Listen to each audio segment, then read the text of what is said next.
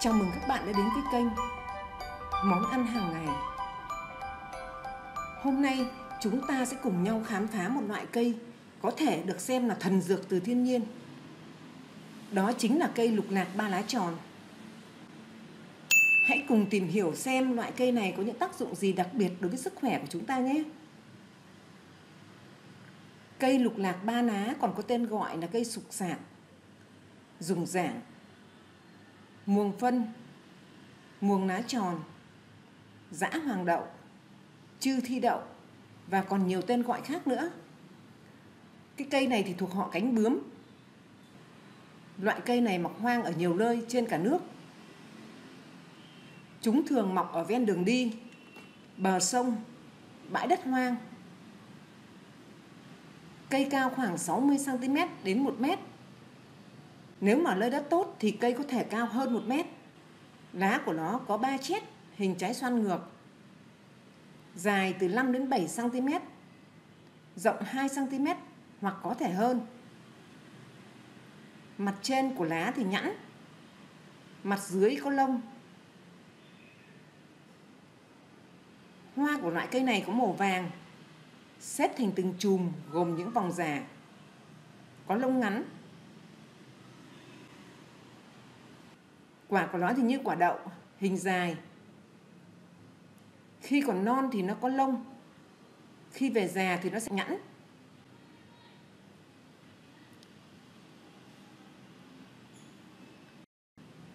Quả của nó có nhiều hạt. Hạt của nó có màu hạt rẻ nhạt hoặc màu vàng da cam. Hình thận. Cây thường ra hoa từ tháng 6 đến tháng 10. Quả của nó thì thường được thu hái vào mùa thu phơi khô và tách lấy hạt. Bộ phận dùng làm thuốc bao gồm cả cây, rễ, hạt. Người ta thường thu hoạch, phơi khô để dùng dần. Theo y học cổ truyền, lục lạc ba lá có tính mát, vị ngọt, hơi chát, có tác dụng bổ can thận, sáng mắt ích tinh, Lá và thân của nó thì có tính bình, vị đắng, có tác dụng lợi tiểu, tiêu viêm. Rễ của cây lục lạc thì có tính bình, vị hơi đắng, có tác dụng tiêu viêm và trợ tiêu hóa. Hạt của loại cây này thì dùng để trị suy nhược thần kinh, chóng mặt do sốt, chứng đa niệu, bạch đới. Trong dân gian người ta còn thấy là lục lạc ba lá tròn còn có tác dụng chữa tiểu tiện nhiều lần.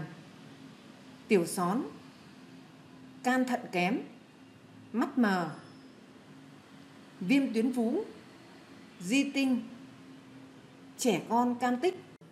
Cây lục lạc ba lá tròn là một loại dược liệu rất tốt, nhưng nếu lạm dụng hoặc uống bài thuốc không đúng cách từ loại cây này thì người dùng có thể gặp một số tác dụng phụ dưới đây. Phản ứng dị ứng một số người có thể bị dị ứng với các thành phần của dược liệu lục lạc ba lá tròn, dẫn đến các triệu chứng như phát ban, ngứa hoặc triệu chứng hô hấp. Rối loạn tiêu hóa Việc tiêu thụ dược liệu lục lạc ba lá tròn có thể gây khó chịu tiêu hóa, chẳng hạn như đau bụng hoặc tiêu chảy trong một số trường hợp hiếm gặp. Nhạy cảm với ánh sáng Một số báo cáo cho thấy việc tiêu thụ dược liệu lục lạc ba lá tròn có thể tăng độ nhạy cảm với ánh sáng mặt trời, dẫn đến dễ bị cháy nắng hoặc bị kích ứng da khi tiếp xúc với ánh nắng. Tương tác thuốc Các chất trong dược liệu lục lạc ba lá tròn có thể tương tác với một số loại thuốc.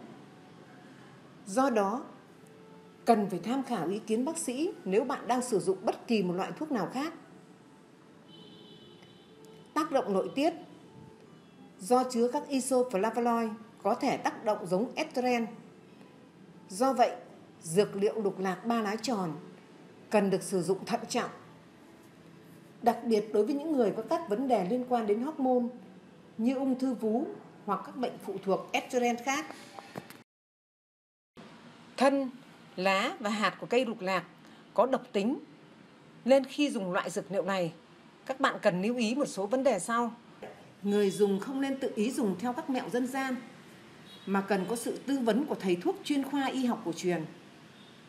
Đặc biệt, phụ nữ mang thai không nên sử dụng. Không dùng thuốc ở dạng tươi để uống khi chưa đun nấu, bởi vì thuốc có độc tính ở dạng cây tươi. Không sử dụng dược liệu này dưới hình thức ngâm rượu uống. Cần phải phân biệt kỹ, tránh nhầm lẫn với cây muồng muồng. Cây muồng muồng là loại cây có cụm lá kép, mọc đối với nhiều cặp lá, chứ không phải là có ba lá như cây lục lạc.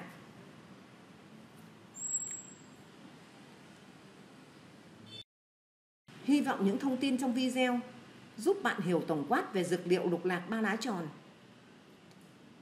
Tuy nhiên, các thông tin trong video chỉ mang tính chất tham khảo. Tuyệt đối không tự ý sử dụng mà không thông qua ý kiến của bác sĩ. Cảm ơn các bạn đã theo dõi video ngày hôm nay. Nếu thấy hay và bổ ích, đừng quên like, chia sẻ và đăng ký kênh của chúng tôi để không bỏ lỡ bất kỳ video thú vị nào.